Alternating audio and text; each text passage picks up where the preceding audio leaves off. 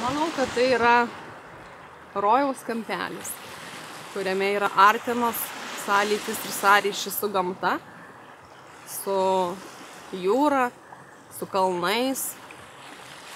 Tiesiog sąryšis su savimi, tyla, paukščių skambėjimas, medžių šlamėjimas.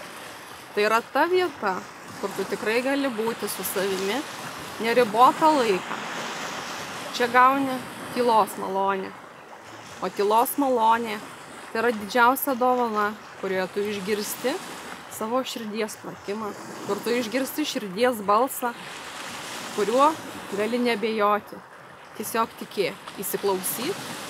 Tai va ta vieta, manau, kad jinai padeda atskleisti tą, ką tu matai, ką tu jauti ir ką tu girdi.